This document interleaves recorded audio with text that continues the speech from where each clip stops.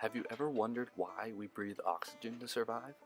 Why don't we breathe carbon dioxide or hydrogen gas? The answer lies in the process of cellular respiration. Specifically, oxygen is necessary for what is known as oxidative phosphorylation. Today we are going to explore what oxidative phosphorylation is and how it utilizes oxygen to provide energy for the cell. Oxidative phosphorylation is part of the cellular respiration process, which takes place inside the mitochondria. It is the final step in cellular respiration, just after the citric acid cycle. It is commonly broken down into two steps, the electron transport chain and chemiosmosis. The electron transport chain is made up of a series of proteins and organic molecules embedded in the inner membrane of the mitochondria. The important parts of the chain are complex 1, 2, 3, and 4.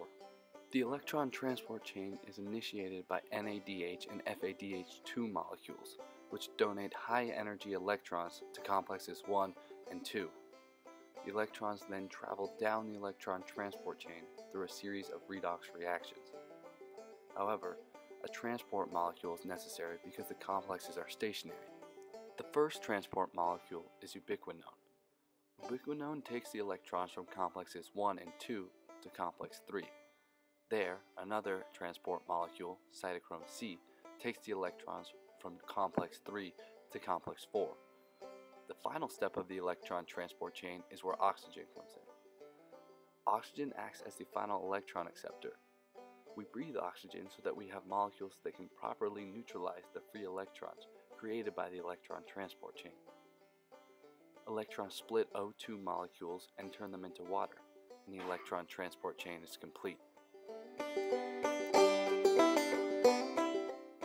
A good way to visualize the electron transport chain is to imagine it as a railway system. FADH and NADH2 are the Ubers, dropping off the passengers, the electrons, at the train station, complex 1 and 2. The first train, ubiquinone, takes the passenger electrons from the first station, complexes 1 and 2, to the second station, complex 3.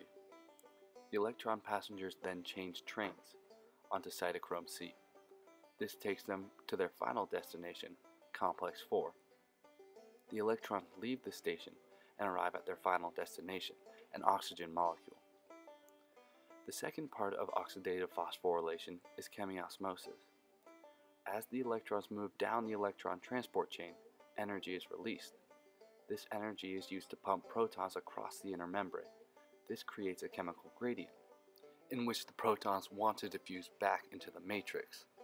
To do this, they must pass through ATP synthase. This channel protein is also an enzyme, and as protons pass through it, it spins and synthesizes ATP from ADP. ATP is a high energy molecule that can be used to carry out many cell functions. Another way to visualize chemiosmosis is to imagine a bunch of helium balloons as protons in a room with a ceiling in the middle as the inner membrane. The electron transport chain creates the energy to move the proton balloons below the ceiling. However, the proton balloons want to pass back through to the other side, but they can only do so by traveling through a special trap door. This is the ATP synthase. When the balloons do pass through the ATP synthase, they move a mechanical rotor, which produces energy. Upon completion of chemiosmosis, the chemical gradient has been rebalanced, and the process can repeat itself. In total, 6 NADH and 2 FADH2 molecules are consumed by oxidative phosphorylation to produce 30 to 34 ATP molecules. Oxidative phosphorylation is an aerobic process, meaning it requires oxygen, and it is much more efficient at synthesizing ATP than its anaerobic counterparts, such as fermentation.